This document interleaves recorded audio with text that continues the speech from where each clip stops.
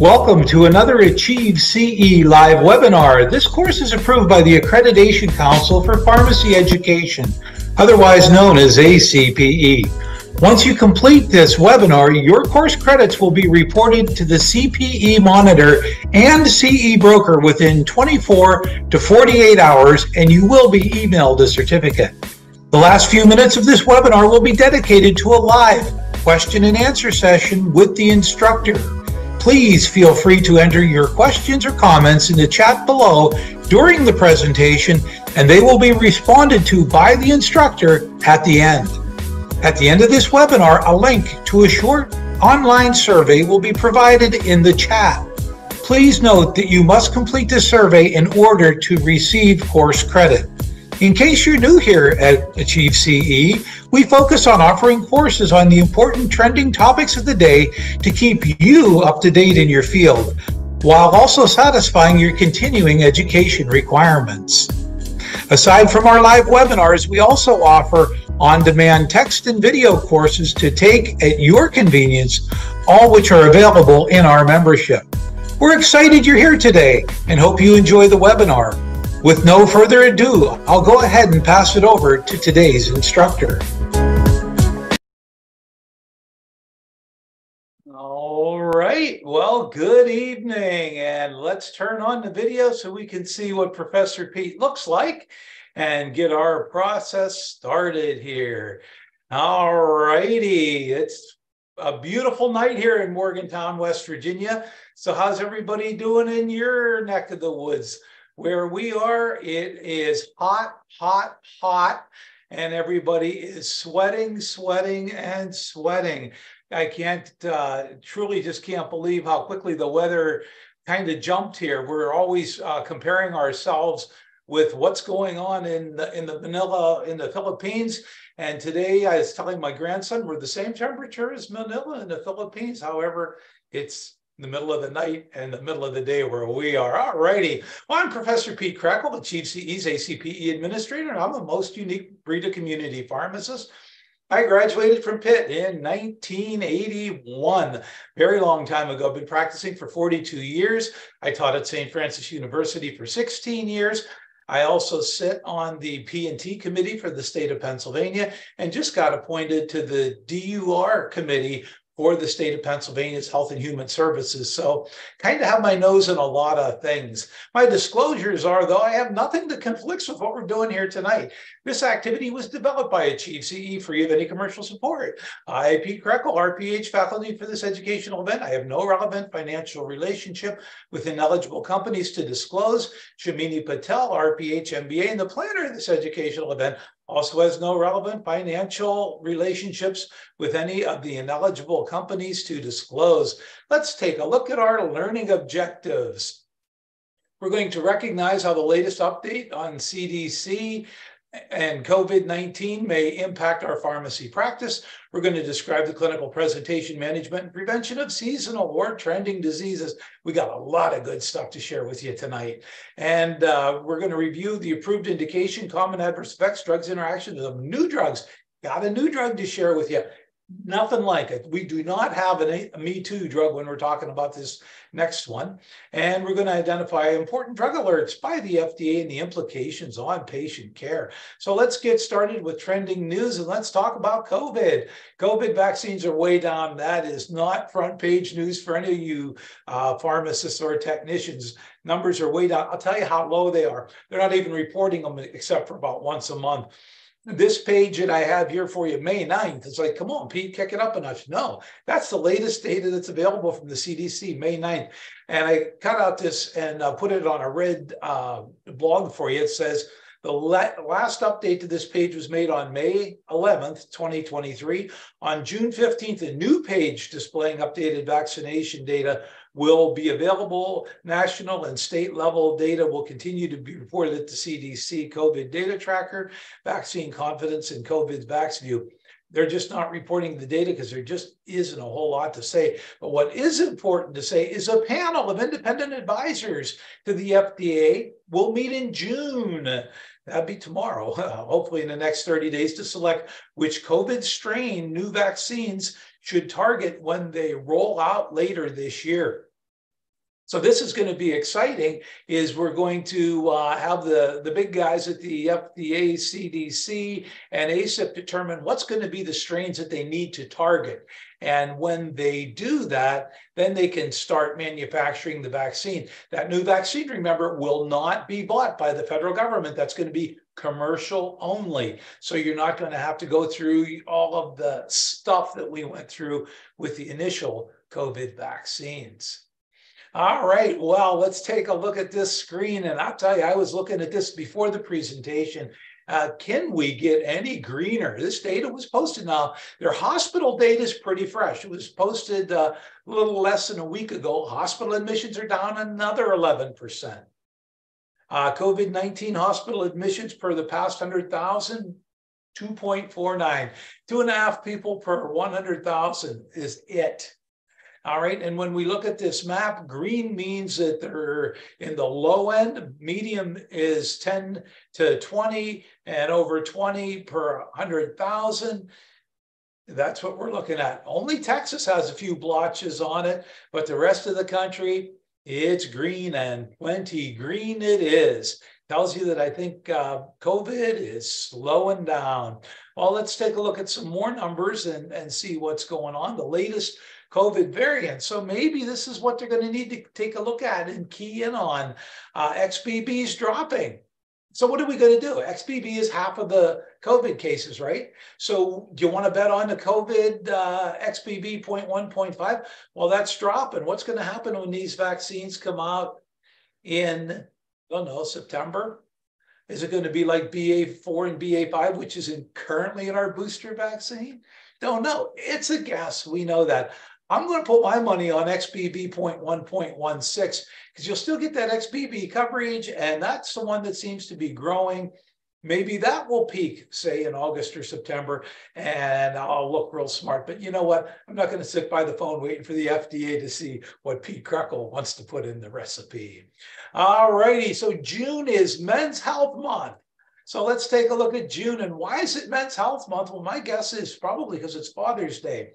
And uh, Father's Day was started actually in Spokane, Washington. Uh, Sonora Smart Dodd of Spokane, whose father, William Jackson Smart, was a Civil War veteran. Her father raised her and five siblings after their mom died. Mom died uh, birthing child number six. So dad was left to raise these five kids, and I guess he did a spectacular job, at least by his daughter's assessment. She was inspired by a sermon that she heard on Mother's Day, and she probably thought, hey, why don't we do something for dad? So the local religious leaders supported the idea. And after Father's Day was celebrated on June 19th, 1910, the month of the birth of Dodd's father. Well, President Calvin Coolidge gave his support to the observance in 1924. Lyndon Johnson recognized it in 1966. Dick Nixon uh, designated the third Sunday in June as Father's Day. And here's our West Virginia connection. A Father's Day service was held on July 5th, 1908 in West Virginia to honor the fathers killed in the Monongah mine disaster, which was two years before Sonora Smart Dodd celebration. So let's call June what it is, Men's Health Month. So we're going to talk about some stuff that's pretty specific to men. Let's talk about urinary tract infections. And we know women get a lot more urinary tract infections, and we're going to talk about some reasons why. First of all, the urinary tract infections in men is a lot higher uh, if they are uncircumcised. Also, your prostate gland secretes zinc, which is a potent antibacterial that stops the ascent of the infection low zinc levels in prostatic secretions of men with bacterial prostatitis. So if they aren't producing as much zinc, uh, it's allowing the germs to grow.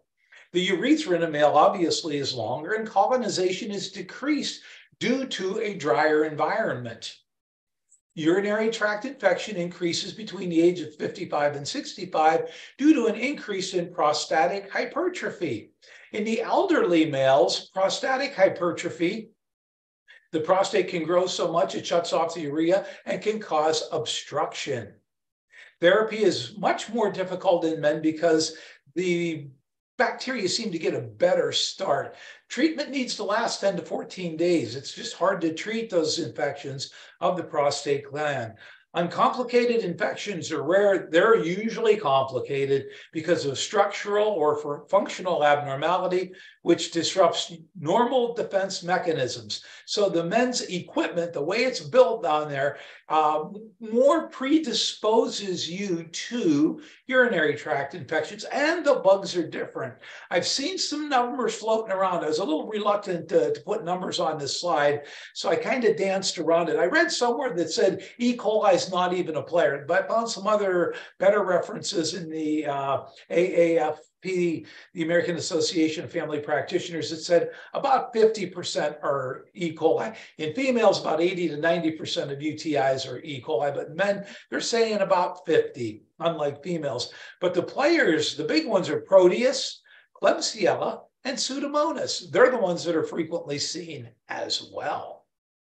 Urinary tract infections in the elderly, well, make sure there are symptoms and the urine is abnormal, not just a positive culture. Treatment of asymptomatic urinary tract infections in the elderly is not advised. It's said to be a benign disease, especially in the women, because in their bladder, they have these little villi in there that just kind of make a, a nice safe harbor for the bacteria to grow. Asymptomatic bacteria is dependent on age and checked for obstruction if recurrent symptoms. Now, here's my question. What is asymptomatic urinary tract infections? Uh, and they say don't treat them. Well, how would you know somebody has an asymptomatic urinary tract infection unless you were looking for something that you shouldn't be looking for anyhow? It's just one of those things in medicine that just shows it, oh, let's just check their urine. All right. Um, asymptomatic bacteria should not be treated. If the person is not complaining of burning or pain down there, you probably shouldn't be treated. And I know what all of you are thinking, and we're going to get to it. Delirium, although urinary tract infections can cause delirium in older adults, the guidelines recommend that patients with delirium and no urinary uh, systemic symptoms be assessed for other causes of delirium. So if you have delirium, that doesn't mean you check for a urinary tract infection. You check everything else before you do UTI checks. The most common cause of infection in males is bladder outlet obstruction because of prostatic hypertrophy. You want to obtain a culture before treatment because the cause of infection is not as predictable as we said on the previous slide. Women, you're going to get it right 80 to 90% of the time if you're guessing E. coli. However, for us men, because it can be Proteus and Klebsiella and E. coli and even Pseudomonas, you have to do a culture. Bacterial prostatitis in a male is that inflammation of the prostate gland and the surrounding tissue as a result of infection. We have pathogenic bacteria that we've talked about must be present in the prostatic secretions and in the urine. Men with urethral strictures can also be at risk. And this is about 10 to 15% of the male population. So it's, it's pretty high. You know, if 20 guys come to your uh, pharmacy, you can pretty much suspect two to five of them could very well have this. Clinical appearance, sudden onset of fever, chills, myalgia, and malaise, local pain, both in the perianal area and the suprapubic area. Digital palpitation of the prostate via the rectum will reveal a tender and swollen and warm, tense, indurated gland. That's when the doctor puts on the gloves, guys, tells you to bend over and checks your prostate, and they can actually feel that indurated gland. Prostatitis, well, it depends on the age. And I always had fun doing this with my students at St. Francis. I'd say, How many of you guys are under 35? And, you know, the whole class would raise their hand and say, You guys, the problem's going to be uh, Neisseria gonorrhea or uh, chlamydia trachomatis, a sexually transmitted infections. That's obviously the major cause for uh, men under age 35. So, of course, the drug of choice, ceftriaxone, remember in the old days, used to be ciprofloxacin. Then in 2006, they changed it up to Suprax. Remember Suprax, 400 milligrams, and you take one as a single dose. Today, we've got to use, because of all of that resistance to gonorrhea, we have to use ceftriaxone plus doxycycline, 100 milligrams twice a day for 10 days. The Doxy 100, that's to treat the chlamydia. They always travel together. If they're over age 35 years of age, then it's a good bet that it could be the Enterobacteriaceae or the coliforms. So we're going to then use fluoroquinolones or trimetsulfa DS for 10 to 14 days. Pretty much the same drugs that we use in females, but for a lot longer. And for chronic bacterial, uh, for our uh, elderly gentlemen, let's say 55 and over, uh, then we can see enterobacteria, enterococci, proteus, and of course our friend uh, Pseudomonas aeruginosa, which then we're going to be using ciprofloxacin 500 twice a day, or levaquin 750 once a day, or trimethsulfa twice a day for one to three months. The uh, one fluoroquinolone we don't use is Avelox or moxifloxacin because we just don't get high enough urine levels to recommend moxifloxacin. All right, it's time for our first assessment question. Which of the following bacteria is most likely to cause bacterial prostatitis in a 74 year old male? Go ahead and key in your answer now, and I'll give you about 15, 20 seconds to do that.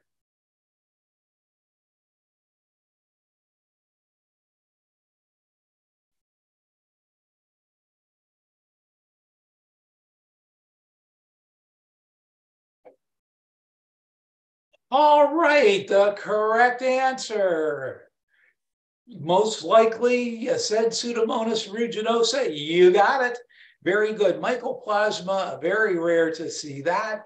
Uh, Calymmatobacterium granulomatis is a sexually transmitted infection, and strep pyo, probably not going to see that. That's usually a topical skin infection. So Pseudomonas aeruginosa, well done, class. Well done. So it is answer B. Of those four, that's the one that's most likely. Another condition that men can get oh, once they hit that, oh, I don't know, age 50 mark.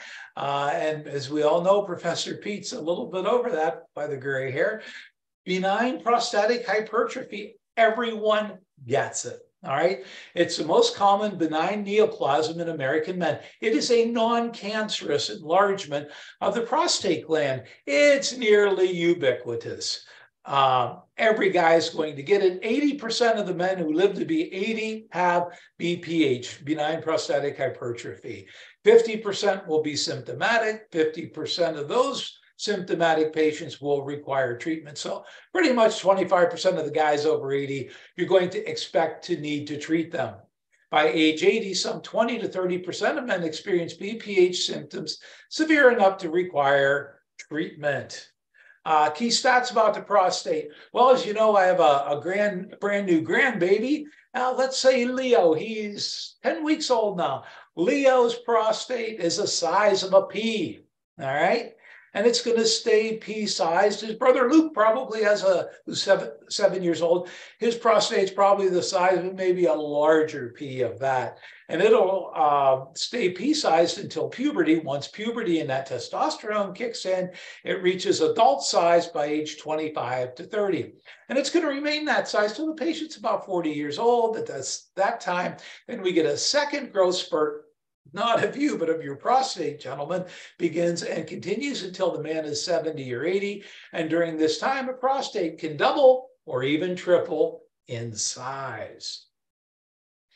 So, BPH symptoms, we have the irritative symptoms, dysuria, pain on urination, nocturia, getting up to pee during the night, urgency, I gotta go, I gotta go, I gotta go. Uh, frequency, I know I just went a half an hour ago, but I got to go again. And burning, ooh, that's painful. Obstructive is hesitancy or straining or dribbling or a weak stream or incomplete emptying. And I'm always asking uh, gray haired men that ask me for an allergy recommendation because you never want to give them an anticholinergic. I'll say to them, I got the gray hair and so do you. Uh, can you pee over your shoes? And if they say, oh, no, I have prostate problems, then I'm going to be very judicious in selecting an antihistamine. I'm going to only recommend a second generation antihistamine with minimal anticholinergic effects. I would never recommend a first generation antihistamine to a guy with gray hair as gray as mine, simply because he might not be able to pee over his shoes. Well, let's talk about those medications that can make it worse. Uh, medications to avoid if a patient has BPH. Testosterone is a big one. Obviously, testosterone is going to cause the prostate to grow. That's why Luke's prostate is not going to grow because he's seven years old until he hits puberty. Uh, so testosterone is going to cause it to grow.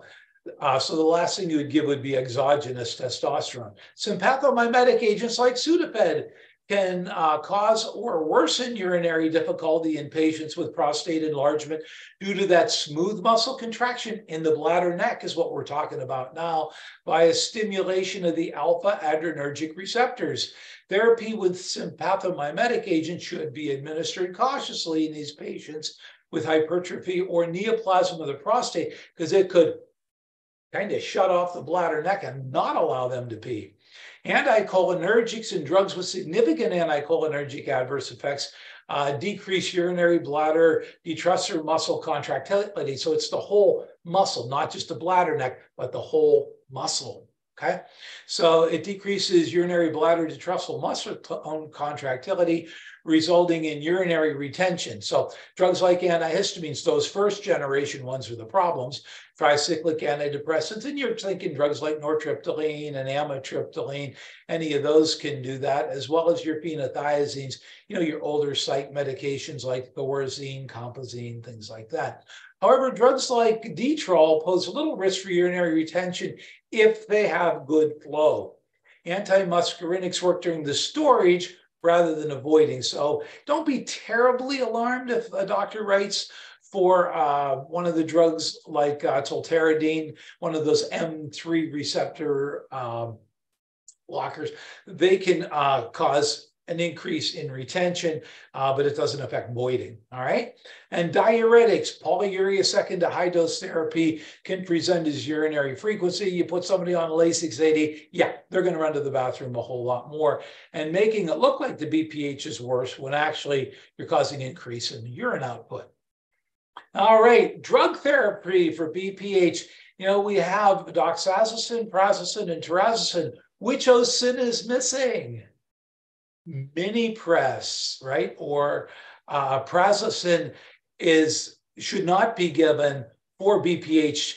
Uh, however, Cardura and Hytrin can. So these are the, your alpha non-selective doses and your regular doses. However, we're not going to use Minipress at all because it's too short acting because it would take two to three doses a day. So let's not use Minipress. We can use Cardura and Hytrin, however, but they're really non-selective, so they lower the blood pressure a lot. Remember, these guys first came out as blood pressure drugs. And how many of you see uh, prazosin used one at bedtime? That's usually used for treatment of PTSD because it decreases uh, sympathetic outflow. All right. So the alpha 1A selective ones, these are your bladder drugs. And this is probably what most of your guys are on for the prostate. Uh, tamsulosin, alfuzosin, and silodosin. So Flomax, Uroxatral, and Rapaflo. Uh, they're a little bit more selective, more appropriate for the bladder and cause less effect on blood pressure control. So what are the differences in the selective alpha blockers? Well, alfuzosin, uroxatral is least likely of the alpha blockers to cause ejaculatory problems. So if the men are having sex and, uh, are, and they ejaculate, it can be painful if they are on some of the alpha blockers. Uroxatral is your best one for that. Tamsulosin or Flomax is the least likely to cause the orthostatic hypotension. Remember, we're dilating blood vessels uh, and when they change positions, they can get lightheaded. Remember, that's why we tell them to take it at bedtime. But it's most likely to cause the ejaculatory problems. And silodosin is contraindicated in patients with potent uh, CYP3A4 inhibitors. So some of the HIV drugs can do that and can cause a lot of uh, drug-drug interactions. So alfuzosin, best choice for a guy with ejaculatory issues. Tamsulosin, best choice for people that are experiencing dizziness. Side effects of the alpha blockers, hypotension is a big one. These are old blood pressure drugs. And the ALLHAT study, you know, we used to use these a lot for hypertension. The ALLHAT study uh, was done in the early 2000s. And what they found out with the uh, Carduras and the mini presses and the Hytrins were it really decreased cardiac output and caused more death. Uh, caused an increased death like by 25%. So they quit recommending any of those as first line therapy for hypertension. So they were originally hypertensive drugs. So these drugs can all cause hypotension. Painful ejaculation can occur with Flomax or tamsulosin. Dizziness can cause uh, with with uh, flow with uh, the other ones. Flomax is the least worst for it.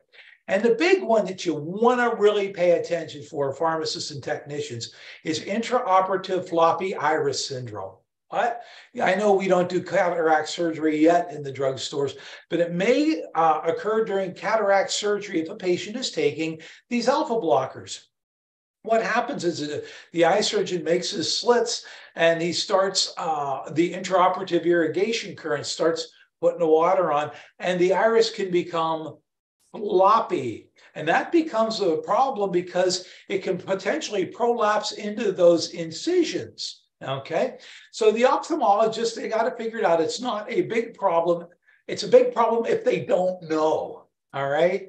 So ophthalmologists can modify their surgical techniques using iris hooks, iris dilation rings, uh, viscoelastic devices. They, they got the stuff to work on this problem, but they have to know it ahead of time.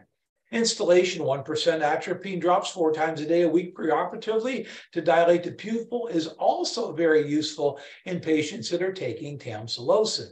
But ophthalmologists must know before surgery that the patient's on alpha blocker therapy, and even frequently stopping the alpha blockers a week or two ahead of time might not be enough. So the, they always have to know ahead of time. Well, shrinking the prostate, let's take a look at that rather than uh, just increase the urine flow. Let's take a look at shrinking the prostate. If it's a big prostate and that's a problem, what can we do to shrink it?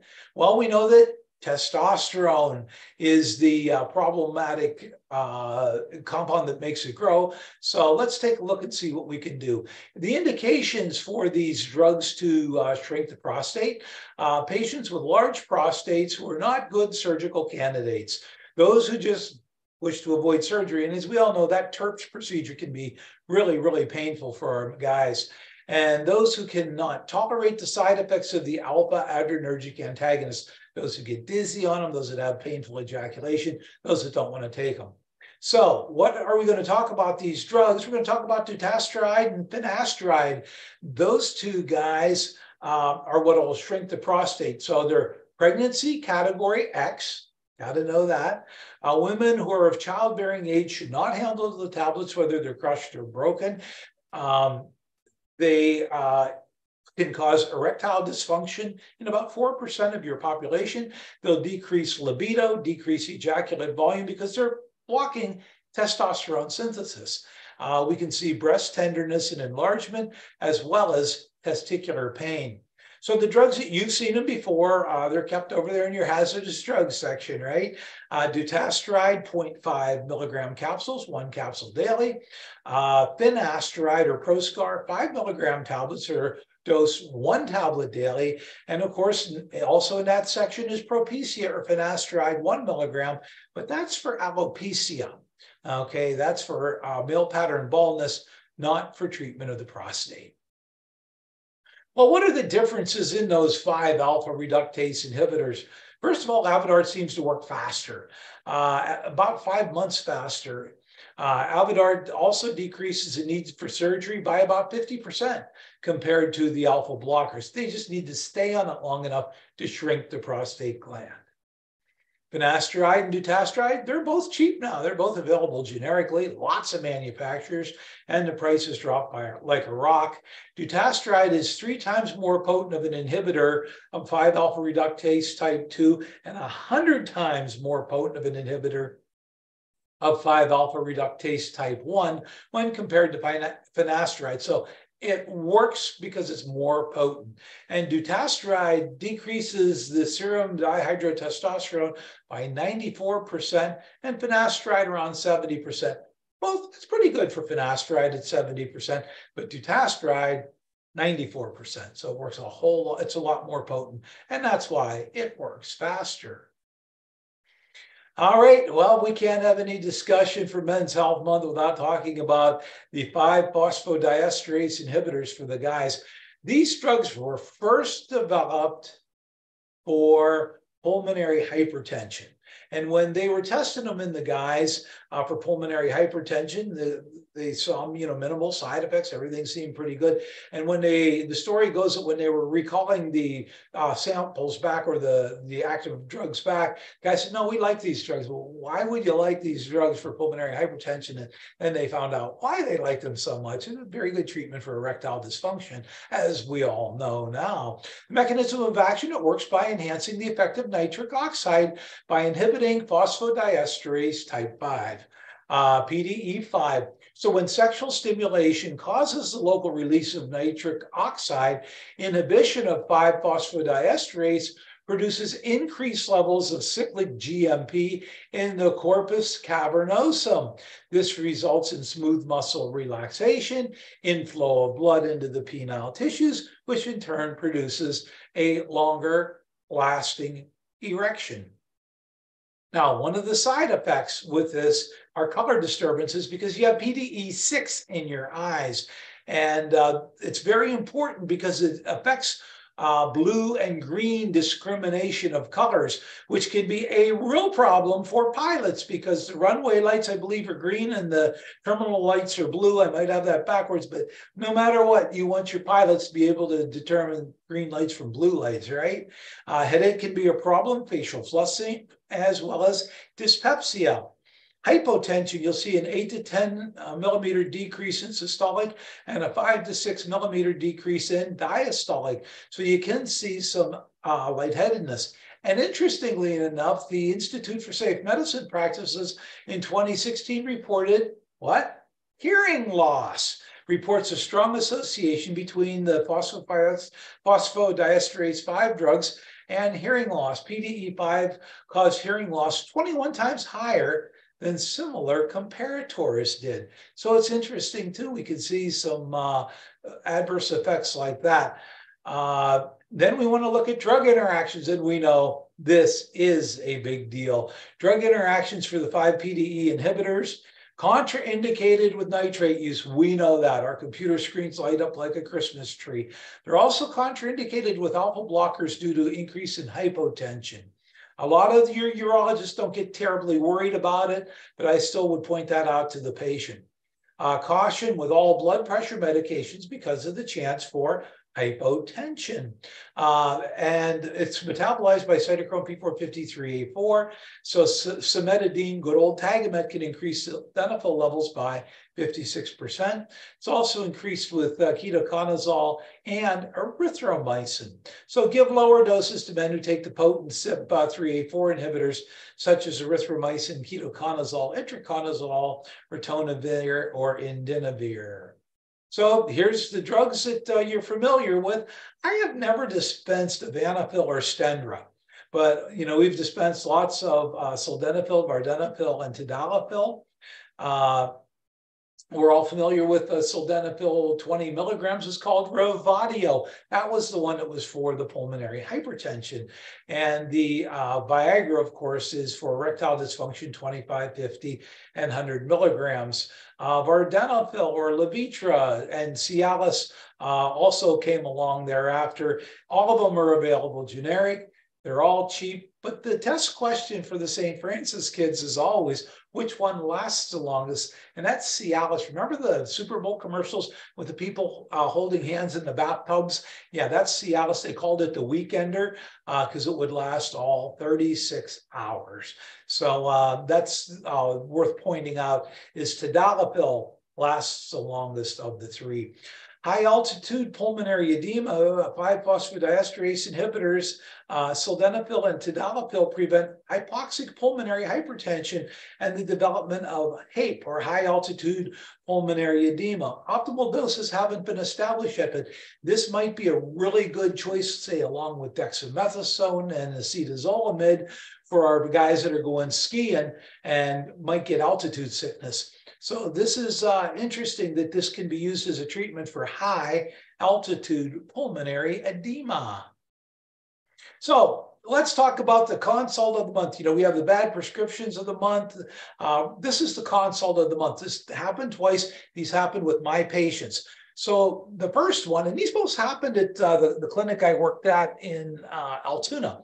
So the first one came up. He was a friend of the doctor's, And uh, I looked at his chart and I said, you know, you've been missing a lot of doses on your Flomax. I said, do we have prostate issues or not? And he says, well, you, you know. And I had a student pharmacist, her name was Nicole. And I said, do you want Nikki to leave? And he no, we need to talk about this. I said, sure, what's going on? He says, well, as you know, uh, and I knew his uh, girlfriend at the time, his partner at the time, and uh, he said, you know, we're, we're still sexually active. I said, okay. He says, and I said, oh, is it painful when you ejaculate? He says, yeah, it hurts like heck. He said, I have, I, you know, we really enjoy sex together. This guy is 72 years old. And I said, oh, okay, that's fine. That's what I need to know. I said, we can make a change to another drug that won't cause that. He said, oh, let's give it a shot. So I go out to Dr. Gates and say, hey, doc, your uh, buddy's in the room. He's having ejaculatory issues on tamsulosin. I says, what? Let's switch him to Uroxatral. He says, I never dispensed it, never heard of it before. He said, I told him, I says, it's alfuzosin, same mechanism of action. He says, what's it going to cost? I said, it's generic, it's cheap, it's going to be less than 10 bucks a month. He said, put them on it. All right, so about three months later, Christmas party, and uh, this guy's there and uh, we're talking. I said, "How you doing?" He says, "Never been better." Gave me a big hug. He says, "Thanks for making that change for me, Pete." And he gave me the biggest smile. The second patient was also 72 years old. He was scheduled for cataract surgery, and I was looking over his chart. Came in for pre-surgery clearance. Pre-surgery clearance for cataract surgery is a joke. It's like, does the guy have a pulse? Okay, so I'm looking at his med list and uh, I saw he was on aspirin and tamsulosin, and I said, "Oh, cataract surgery? God, this could be a problem." So I called to the. So I said to the guy, he said, uh, "Did you stop your medicine?" He said, "Well, the doctor told me to stop a couple. I don't know which ones it was." He says, "But I said, where are you taking your prostate one? It's the the green and yellow one." He said, "Yeah, oh yeah, I don't want to miss that." I said, "Okay, thanks." So I go in, tell the doctor, and then I called his ophthalmologist, and they were rather unconcerned. I said, hey, uh, you know, in case we're worried about IFIS, the guy was taking tamsulosin. He continues to be on. She says, have him stop taking it now and uh, have him stop his aspirin as well. She said, and I'll, I'll let the doctor know. I said, oh, are we going to use iris hooks and iris rings? She said, exactly. So as long as they know in advance, they're good. So as a result, I did look on his chart uh, at his next visit and uh, surgery was a success. They used iris hooks and iris rings, and the patient recovered without any problem at all. All right, let's see what's going on at the FDA. Oh, it's time to shift gears and let's talk about the new drug for women. Just approved. This drug's not even 10 days old, and we're talking about it here on Achieve CE's News and Views. It was approved by the FDA on May 22nd, 2023. Uh, nalmefene, OPVEE, is an opioid receptor antagonist like naloxone, which blocks the effects of opioids in the brain, which can restore normal breathing. This is going to be a competitor for Narcan or naloxone. Nalmefene or OPVEE delivers 2.7 milligrams of nalmefene in the nasal cavity. Think of it as just another Narcan analog, okay?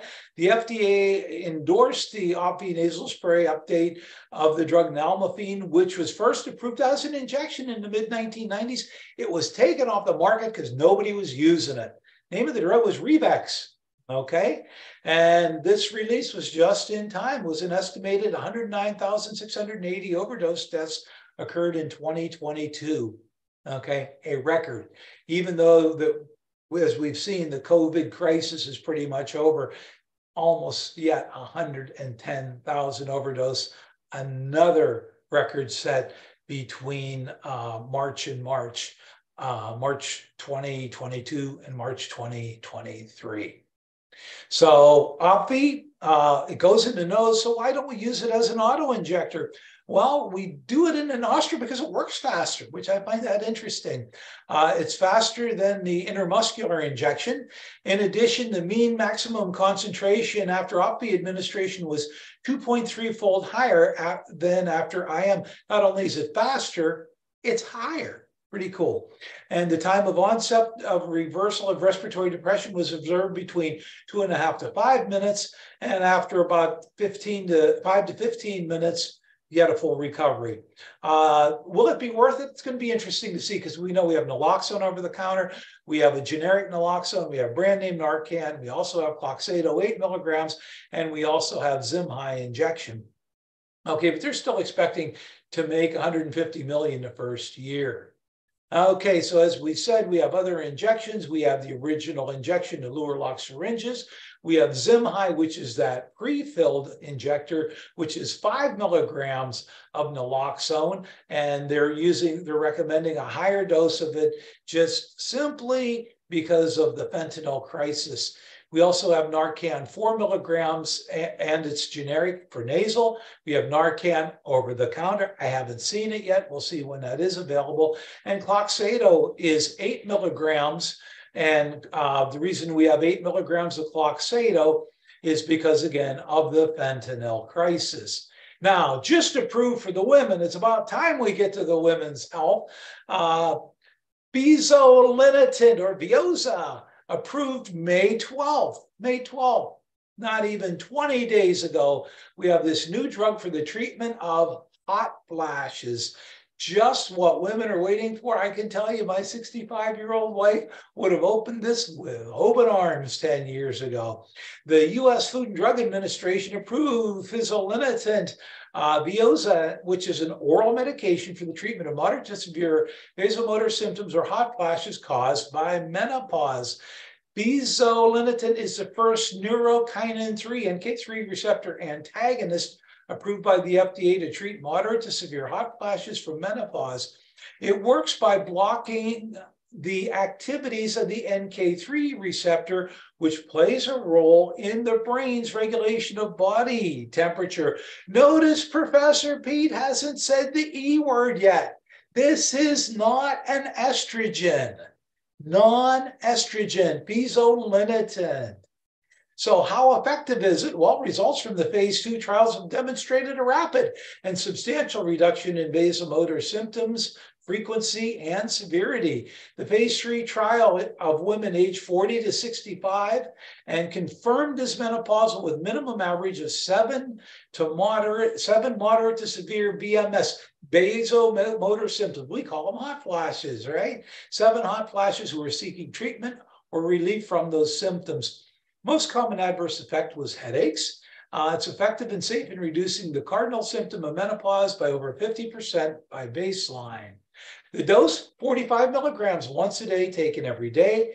Uh, we have to watch for elevated hepatic transaminases, liver injury. So what you want to do initially, let's have some uh, liver panels done before we start the therapy. All right, so the hot flashes, we know what the symptoms are. This is pretty much for the guys, right? I think we know what they are too, right? Hot flashes are sudden, onset, spontaneous, and episodic sensation of warmth, usually felt in the chest, neck, and face immediately followed by an outbreak of sweating. The most common reason that women will go to their gynecologist or seek medical care is relief from hot flashes, especially during the perimenopausal area, the area before complete menopause. The onset of hot flashes can be associated with perspiration, heart palpitations, headache, weakness, fatigue, faintness, anxiety, and the big one, sleep disturbances. And those sleep disturbances can then precipitate daytime drowsiness and decrease quality of the life. It wakes the ladies up at night. So let's talk about the physiology of hot flashes. And I love learning this stuff too. The hypothalamus is innervated by kisspeptin and neurokinin B dynorphin. They're called KNDY neurons. So think of the hypothalamus as your body's thermostat. It's what regulates your body's temperature. Okay. And those KNDY neurons, that's that adjusting the thermostat.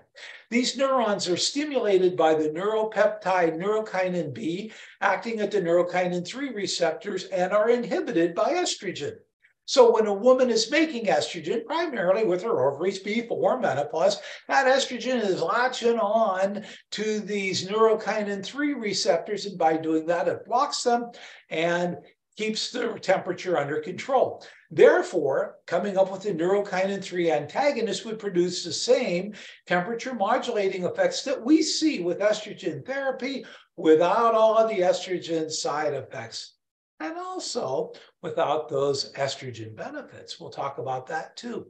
Menopause, while declining estrogen levels decrease neurokinin 3 receptor mediation activation, leading to hypertrophy of those KNDY neurons and altered activity in the thermoregulatory center. This thermoregulatory center triggers heat dissipation. So what happens is sends out these little messengers that cause vasodilatation in the skin, causes heat loss. Heat loss causes uh, then you're sweating. How do we get rid of our body's temperature on a hot summer day in Morgantown, West Virginia? We sweat, right? We have that vasodilatation that makes us sweat. And that's why women get the vasodilatation. They have the hot flashes, the sweating, and the chills, all regulated by the hypothalamus.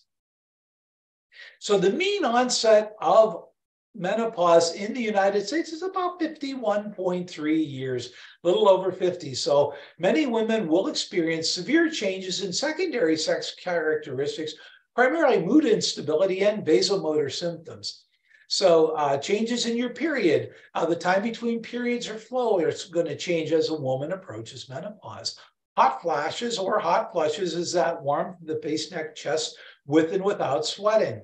Night sweats that can lead to problems sleeping and feeling tired, stressed, or tense. Women will also experience vaginal changes. The vagina may become dry and thin, and sex could become more painful.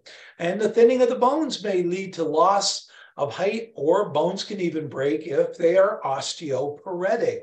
Exogenous estrogen can be administered, which affects as many as 200 different receptor sites in a woman's body. I never knew that. 200 different receptor sites. Well, we know about the ones in the hypothalamus, right? We know about the bones. We know about the vagina. We know about the breast tissue. We know about the vulva. We do know about the uterus as well. So when a woman opts for exogenous estrogen, it's going to affect a lot of her body systems. The estrogen replacement rule is this use the lowest possible dose for the shortest period of time. So, other than natural menopause, significant hot flashes can occur with surgical menopause. Say a woman gets a bilateral salpingo-oophorectomy where uh, both ovaries are taken out for whatever reason. Okay, that's surgical menopause, and that happens fast. And then we can also uh, induce uh, a worsening of menopause with selective estrogen receptor modulators, also known as SERMs. Tamoxifen blocks the estrogen receptors in the breast tissue. That can cause it as well. Fluoxetine, Prozac, paroxetine, Paxil decrease the formation of the active metabolite of tamoxifen and decrease tamoxifen's efficacy. So we're never going to dispense fluoxetine and paroxetine to a woman on Nolvadex because Nolvadex is, or tamoxifen is a prodrug. And if we don't activate the prodrug and we block its activation with fluoxetine and paroxetine, she's not going to get the benefit. So no Paxil, no Prozac with tamoxifen. Raloxifene, uh, by giving that for a woman for osteoporosis or breast cancer, uh, raloxifene can also cause hot flashes, as can ospemifene or osphena, which is for female dyspareunia or painful sex. Aromatase inhibitors, which are also breast cancer treatments, stop the peripheral formation of estrogen. Anastrozole, letrozole, and exemestane uh, just shut down estrogen production entirely. Remember, the ovaries have already stopped making estrogen in a postmenopausal woman, so we can use aromatase inhibitors in the postmenopausal women. However, Nolvadex can be used in premenopausal and postmenopausal. So only tamoxifen for premenopausal breast cancer. However, postmenopausal, you can use tamoxifen or the aromatase inhibitors. And danazol for uh, endometriosis therapy. It's probably been a long time since any of us have dispensed danazol or Danocrine. And leuprolide or Lupron can also be used for endometriosis therapy as well. Estrogen therapy, well, you know, we said it's uh, systemic hormone therapy. 200 receptor sites this is going to hit. We have the tablets, remember Estrace and Premarin. We all know where Premarin comes from. Got to tell the student pharmacist that Premarin, pregnant mare's urine. It comes from the urine of pregnant horses. Obviously, it's distilled down. Uh, skin patches like CombiPatch and Estraderm uh, seem to cause a lot less uh, problems systemically. Rings like Femring, gels like Estrogel, and spray like Evamist. These topical dosage forms contain a higher dose of estrogen that's absorbed through the body, and it can be used to manage those symptoms of menopause, such as hot flashes. Doesn't do a lot, though, for osteoporosis, but it's enough estrogen that it helps with the hot flashes. We also have vaginally administered products for women that are having dyspareunia or painful sex, or also urinary problems. So we have the low dose vaginal preparations of estrogen, creams, estrace, and Premarin. Premarin cream, just for your information, 1945 is when it first came out. 1945, and why it's over 350 bucks a tube. Certainly they've had to made their money by now. Uh, tablets like Vagifem and rings like Estring are all low dose vaginal products. And these vaginal dosage forms minimize the amount of estrogen that's absorbed into the body. So, what they're used for is to treat the vaginal dryness, uh, vaginal tenderness, and urinary symptoms of menopause. You need to avoid estrogen in these patients. Obviously, those that think they are pregnant, if they're having problems with vaginal bleeding, if they have certain kinds of cancer, if they have had a stroke or a heart attack. Uh, the HERS trial kind of bore that out. If they have blood clots and if they have liver disease, and I think any woman that's a smoker is not a candidate for estrogen therapy. For some women, the hormone therapy may increase their chance of getting blood clots heart attacks, strokes, breast cancer, and gallbladder disease. And for a woman with a uterus, estrogen increases the chance of getting endometrial cancer. So make sure you're adding a progestin to lower the risk, or a product like Duavee, which is bazedoxifene. All right, so that's who we need to uh, add, uh, avoid estrogen in that group of patients. So if you can't give them estrogen, what can we give them? Well, as we know, we can give the selective serotonin reuptake inhibitors as well as the selective norepinephrine reuptake inhibitors. Uh, venlafaxine or Effexor is considered to be first line if uh, hormone replacement therapy is contraindicated. So if you don't want to put her on an estrogen, uh, venlafaxine might be a good choice, especially if she's a smoker. Dexvenlafaxine and paroxetine, citalopram, and escitalopram, Lexapro have a moderate benefit for hot flashes. And Brisdelle, Brisdelle is actually approved for it. It's paroxetine. Let's call it a, what it is. It was a marketing gimmick, right? 150 bucks a generic still is, and the brand's $234. Remember, however, though, we're not going to give paroxetine or we're not going to give fluoxetine to a woman who is taking tamoxifen. Clonidine also can work. Uh, gabapentin, Neurontin, and uh, pregabalin or Lyrica can be effective, but only for the first few hours of sleep is where you get the most benefit from them. And the oxybutynin or Detrol, that might help primarily with the urinary symptoms. And back to nature. Well, you know, we want to do something natural.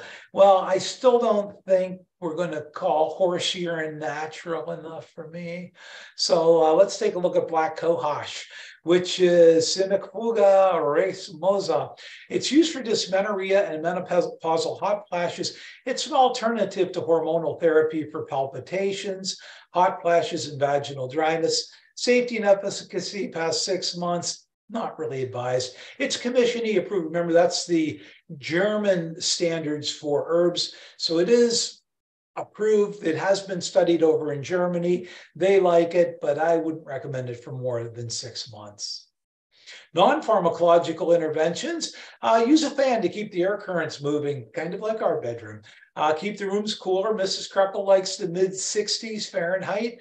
Uh, open the windows, use an air conditioner, uh, decrease stress and anxiety, mind body therapy, CBT, exercise more, lose weight, cut out spicy foods, sauces, and uh, especially at summer at supper time.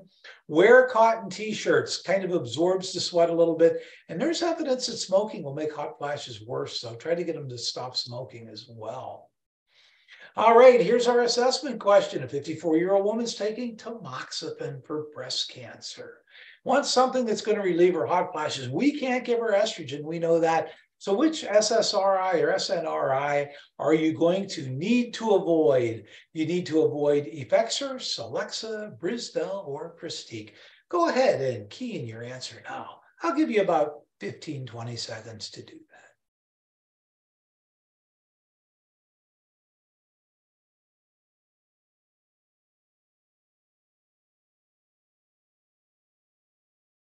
All right, let's see what your answer is. So the correct answer to our second assessment question is answer C. Yes, most of you got it. You did a good job on that.